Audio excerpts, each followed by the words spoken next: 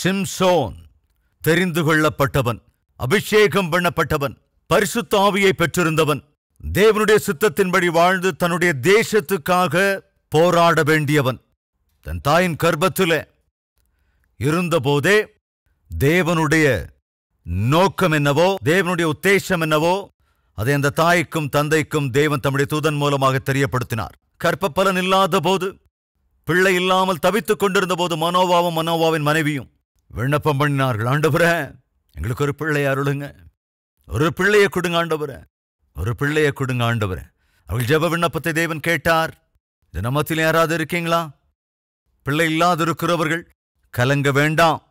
பிள்ளை இல்லாதிருந்து பிரார்த்தனை செய்த ஒவ்வொருவருடைய ஜெபத்தையும் தென் தேவன் கேட்டிருக்கிறார். பிள்ளை இல்லாமல் தவித்துக் கொண்டிருந்த ஆபரகாமுக்கும் சாராளுக்கும் தேவன் மேன்மையான குமாரனாக ஈசாக்கை கொடுத்தார். பிள்ளை இல்லாமல் தவித்த ரெவே காளுக்கும் தேவன் கடாட்சமாய் ஒரு பிள்ளையை கொடுத்தார் கர்ப்பப்பலனை கொடுத்தார் யாக்கோபை அருளி செய்தார். கர்ப்பப்பலன் இல்லாமல் தவித்துக் கொண்டிருந்த அன்னாளுக்கு தேவன் மேன்மையான சாமுவேலை கொடுத்தார். பிள்ளை இல்லாமல் தவித்துக் கொண்டிருந்த மனோபாவுக்கும் அவன் மனைவிக்கும் பலத்த பலசாலியான சிம்சோனை கொடுத்தார். பிள்ளை இல்லாமல் தவித்துக் கொண்டிருந்த யாக்கோபுக்கும் ராகேலுக்கும் மேன்மையான யோசேப்பை கொடுத்தார்.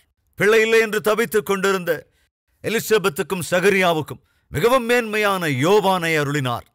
ஜெபித்து விண்ணப்பம் ஒவ்வொரு தாய்க்கும் அதாவது எல்லா கணவனுக்கும் மனைவிக்கும் அதாவது பிள்ளை இல்லாமல் தவித்துக் கொண்டிருந்தவர்களுக்கு கண்ணீரோடு விண்ணப்பம் பண்ணுகிறவர்களுக்கு தேவன் கட்டாயம் பதில் தருவார். நம்மத்தில் யாராவது பிள்ளை இல்லாமல் தவித்துக் கொண்டிருக்கிற தம்பதிகள் இருப்பீர்கள் என்றால் உங்களுக்கு ஒரு நற்செய்தி தேவனை நோக்கி உண்மையாய் கூப்பிட்ட எல்லோருக்கும் இறங்கி தம்முடைய கருணையை காண்பித்து கர்ப்பபலனை கொடுத்திருக்கிறார். ஒருவேளை ஏதாவது காரணத்தினால் சிலருடைய வாழ்க்கையில் சில சந்தர்ப்பங்களில் அதேபோல சில தேவ மனிதர்களுடைய வாழ்க்கையிலும் கர்ப்பபலன் இல்லை. அதற்கான காரணம் என்னவோ தெரியாது.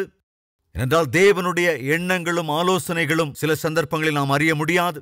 ஆனால் வேதத்தில் ஜாக்கிரதையாய் பரிசீலிப்போம் என்றால் ஜெபித்து விண்ணப்பம் பண்ணின ஒவ்வொரு கணவன் மனைவிக்கு தேவன் கற்ப பலனை அருளியிருக்கிறார். தைரியமா இருங்க. தேவன் உங்களுக்கும் கற்ப பலனை கட்டாயம் அருளி செய்வார். கவனிங்க அன்று சிம்சோன் என்ற ஒரு பலசாலியை வெகுமதியாய் தேவன் அந்த பெற்றோருக்கு அன்று அருளி செய்தார்.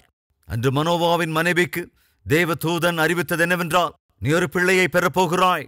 அவன் நசிரேயனாக்கப்பட வேண்டும் அபிஷேகம் பண்ணப்பட வேண்டும் பரிசுத்தமாக அவன் வாழ வேண்டும். எனவே நீ அவன் தாயாக அந்த பிள்ளை உன் கற்பத்தில் இருக்கிற போது நீ பரிசுத்தமாய் வாழ வேண்டும். பரிசுத்தம் இல்லாத எதையும் நீ தொடவே கூடாது என்று சொல்லி தாயையும் கூட தேர்ந்தெடுத்தார் தேவன். அந்த தாயை பரிசுத்தமாக இருக்கச் சொன்னார் தேவன். கர்ப்பிணியாக இருக்கிற ஸ்திரீகளே உங்கள் பிள்ளைகள் வரப்போகும் நாட்களில் உங்களுக்கு சந்தோஷத்தை ஆசீர்வாதத்தை தர வேண்டும் என்று நீங்கள் நினைப்பீர்கள் என்றால் நீங்கள் பரிசுத்தமாய் வாழ வேண்டும். கர்ப்பிணியாக இருக்கிற நீ தவறான வார்த்தைகளை பேசுவதோ எப்பொழுதும் கணவனோடு மாமியாரோடு சண்டை செய்வதோ எப்பொழுதும் செல்போன் எடுத்து உதவாக்கரை அரட்டைகளை அடித்துக் கொண்டிருப்பதோ எந்த நேரமும் டிவி முன்பு சினிமா சீரியல் என்று உட்கார்ந்திருப்பதோ எந்நேரமும் உலக பிரகாரமாக வாழ்வதோ ஷேமம் அல்ல தேவன். அந்த தூதன் மூலமாக மனோவாவின் மனைவிக்கு அறிவித்தது என்னவென்றால் நீ பரிசுத்தமாய் வாழ வேண்டும். நியாயாதிபதிகளின் புத்தகம் பதிமூன்று மூன்றை வாசிக்கிறேன் கர்த்தருடைய தூதனானவர் அந்த ஸ்திரீக்கு தரிசனமாகி அவளை நோக்கி இதோ பிள்ளை பெறாத மலடியான நீ கர்ப்பம் தரித்து ஒரு குமாரனை பெறுவாய். ஒருவேளை தேவன் இதே வார்த்தையின் மூலமாக உங்களில் சில பேரோடு பேசுகிறாரோ என்னவோ நீ மலடியாயிருக்கிறாய் உனக்கு பிள்ளை இல்லை. இதோ நீ கர்ப்பம் தரித்து ஒரு குமாரனை பெறுவாய். ஆதலால் நீ திராட்சை ரசமும் மதுபானமும் குடியாத படிக்கும் தீட்டானதொன்றும் புசியாத படிக்கும் எச்சரிக்கையாயிரு. நீ கர்ப்பம் தரித்தொரு குமாரனை பெறுவாய். அந்த குமாரனை நான் எனக்காக பயன்படுத்தப் போகிறேன். உன் குமாரனை எனக்காக நான் பிரதிஷ்டை செய்ய போகிறேன். உன் குமாரனை எனக்காக நான் வேறு பிரிக்கப் போகிறேன். எனவே தாயாக இருக்கிற நீ வேறு பிரிந்து வாழ வேண்டும். என் பிள்ளைகள் தேவனுக்காக பயன்பட வேண்டும். என் பிள்ளைகள் பிரயோஜனம் உள்ளவர்களாய் வர வேண்டும். என் பிள்ளைகள் பரிசுத்தர்களாய் வாழ வேண்டும். என்றால் முதலாவது நீங்கள் பரிசுத்தமாய் வாழுங்கள். முதலில் நீங்கள் ஆண்டவருக்கு சாட்சியாய் வாழுங்கள். முதலாவது நீங்கள் பிரத்யேகமாக வாழுங்கள். முதலில் உங்களுடைய நடத்தையிலே ஆண்டவரை காண்பியுங்கள். தன் தகப்பனின் கிரியைகளை காண்கிற குமாரனும் அதே கிரியைகளை தான் செய்வான். தாய் எதை செய்கிறாளோ மகளும் அதைத்தான் செய்வாள். இந்நாட்களிலே பிள்ளைகளுக்கு முன்மாதிரியாயிருக்கிற தாய்மார் தகப்பன்மார் குறைந்து விட்டார்கள். பிள்ளைகளுக்கு வழிகாட்டியாயிருக்க வேண்டிய தாய்மார் தகப்பன்மார் குறைந்து விட்டார்கள். பரிசுத்தர்களாக வாழ வேண்டிய ஜெப வீரர்களாக வாழ வேண்டிய அன்பு கூர்ந்து வாழ வேண்டிய பேரண்ட்ஸ் இந்நாட்களிலே குறைந்து போய்விட்டார்கள். என் பிள்ளைங்க நல்லா இருக்கணும். என் பிள்ளைகள் பலமாய் தேவனுக்காய் பயன்படுத்தப்பட வேண்டும். விரும்புகிற ஒவ்வொரு தகப்பனும் ஒவ்வொரு தாயும் நீ எப்படி வாழ்கிறாய் என்பதை சோதித்துப் பார்.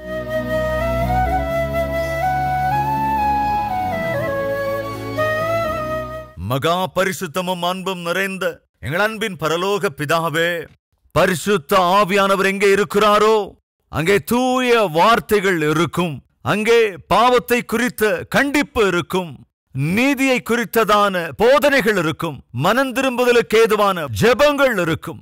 ஆண்டவரே இந்த நாளிலும் உடைய சன்னதியில் நாங்கள் செய்கிற ஜெபத்தை கேட்டு என்று ஆண்டவருடைய சித்தத்திற்கு விரோதமாக நாங்கள் அடியெடுத்து வைக்கிறோமோ அந்த வழி ஆபத்து நிறைந்ததென்றும் கண்டு உணர்ந்து தெரிந்து கொண்டு ஆண்டவரே எங்கள் வழிகளை திருத்திக் கொள்ளுகிற கிருபையையும் உதவியையும் அருள வேண்டும் என்றும் இன்று கேட்ட வார்த்தைகளை விசுவாசித்து ஆண்டவரே தங்கள் நொறுங்குண்ட அருங்குண்ட இருதயத்தோடு கூட மனஸ்தாபப்படுகிறார்களோ அவர்களை அங்கீகரித்து ஆசீர்வதித்து ஆசீர்வாதகரமாய் மாற்ற வேண்டும் என்று ஏசு கிறிஸ்துவின் நாமத்தில் வேண்டிக் கொள்கிறோம் பிதாவே.